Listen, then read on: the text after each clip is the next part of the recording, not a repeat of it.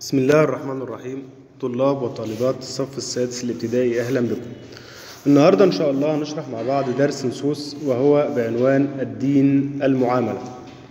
الدين المعاملة ده حديث شريف قال رسول الله صلى الله عليه وسلم ألا من ظلم معاهدا أو انتقصه أو كلفه فوق طاقته أو أخذ منه شيئا بغير طيب نفس فأنا حجيجه يوم القيامة. هذا الحديث يدور حول حسن معاملة أهل الكتاب. الدين الإسلام هو المعاملة الحسنة فيجب أن تسود المعاملة الحسنة بين جميع أطياف المجتمع. قال رسول الله صلى الله عليه وسلم ألا من ظلم معاهدا. أنا عندي أول حاجة ألا ده حرف تنبيه. ألا حرف تنبيه. وظلم عكسها عدل أو أنصف. ظلم عكسها عدل أو أنصف. معاهدا المعاهد هو هم أهل الكتاب. المعاهد هم أهل الكتاب الذين بيننا وبينهم عهود ومواثيق. وكلمة معاهد جمعها معاهدون أو معاهدين. أو انتقصه. انتقصه أي قلل من حقوقه. انتقصه معناها قلل من حقوقه. أو كلفه فوق طاقته. طاقته يعني قدرته وعكسها عجزه وجمع طاقة طاقات. أو أخذ منه شيئا بغير طيب نفس. بغير طيب نفس أي بغير رضا منه. فأنا حجيجه يوم القيامة. حجيجه يعني خصمه أو مقيم الحجة عليه وعكسها نصيره. طيب قلنا الفكرة الرئيسية التي يدور حولها الحديث هي حسن معاملة أهل الكتاب. الرسول صلى الله عليه وسلم يحذرنا من ظلم أهل الكتاب. طيب ما هي صور ظلم أهل الكتاب؟ أول حاجة أن, أن ننتقص حقوقهم يعني أي نقلل من حقوقهم. أو تاني حاجة نكلفهم فوق طاقتهم أو نأخذ شيء منهم بغير طيب نفس. طيب موقف الرسول هيكون إيه؟ سوف يكون الرسول خصما له يوم القيامة. من يظلم المعاهد يكون الرسول خصما له يوم القيامة. طيب أنا عندي ألا من ظلم معاهدا؟ كلمة معاهدا هذه الكلمة هذه الكلمة تشير إلى أن الإسلام يحترم العهود والمواثيق. كلمة معاهدا تشير إلى أن الإسلام يحترم العهود والمواثيق. طيب تاني حاجة عندي في جمال التعبير بغير طيب نفس بغير طيب نفس. هذا التعبير يشير إلى أن أساس المعاملة الرضا والقبول. بغير طيب نفس تعبير يشير إلى أن أساس المعاملة الرضا والقبول. طيب فأنا حجيجه يوم القيامة. هذا تعبير يفيد شدة التحذير. تعبير يفيد شدة التحذير. من أن يتعرض أحد لمخاصمة الرسول يوم القيامة لمخاصمة الرسول يوم القيامة.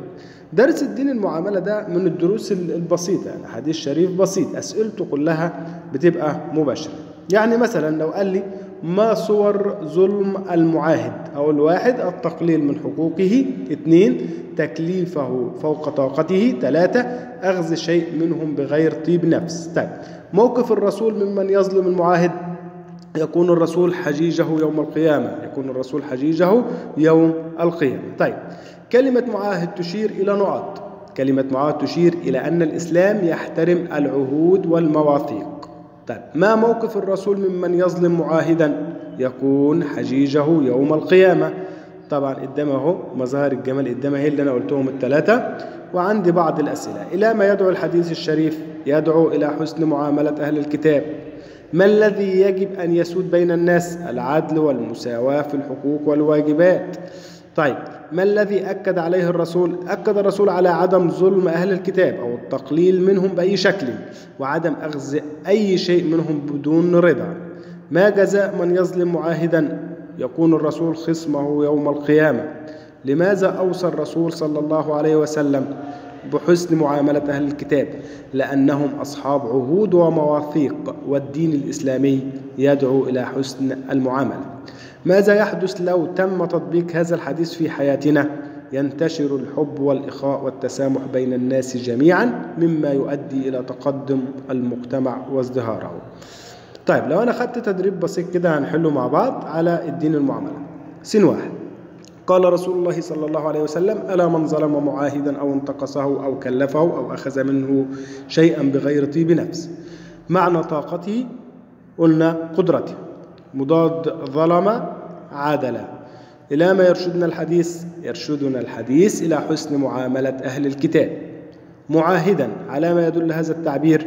يدل على أن الإسلام يحترم العهود والمواثيق. بقية الحديث طبعا المفروض أن أنا هحفظ الحديث. طيب سؤال تاني كده في السريع. ألا من ظلم معاهدا أو انتقصه إلى آخره؟ ألا حرف نفي ولا استفهام ولا تنبيه؟ حرف تنبيه قلناها في المفردات فوق. مضاد انتقصه أوفاه أبخسه أكرمه.